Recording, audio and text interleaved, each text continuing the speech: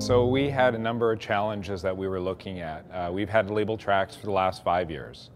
And Label Traxx uh, we felt would be an opportunity that would allow us to grow. We uh, saw a large opportunity to double in size over two years, and we were uncertain what that would look like. We had a homegrown software system that was failing badly.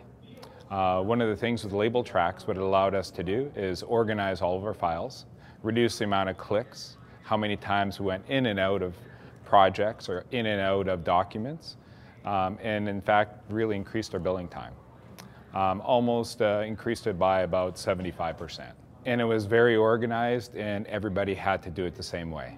So there was no longer that ability to uh, freelance because with our homegrown system, there's a lot of gray areas. So I set it up and I didn't do a very good job of it. However, with, uh, with gray areas, you have, everyone has 100 great ideas. However, if everyone's going into um, a project or a problem and they're all on the same path, it really speeds it up and uh, leaves a lot less uh, areas for error and also reduces time.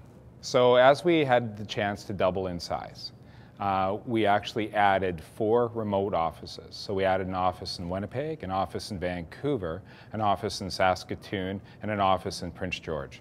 With Label Traxx, it allowed us to easily remote into all of our documents and data uh, and had a lot of great security features.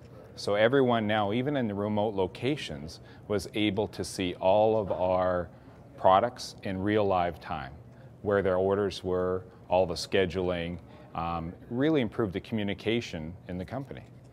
So we were billing well inside of the day, so uh, which, which obviously helped cash flow.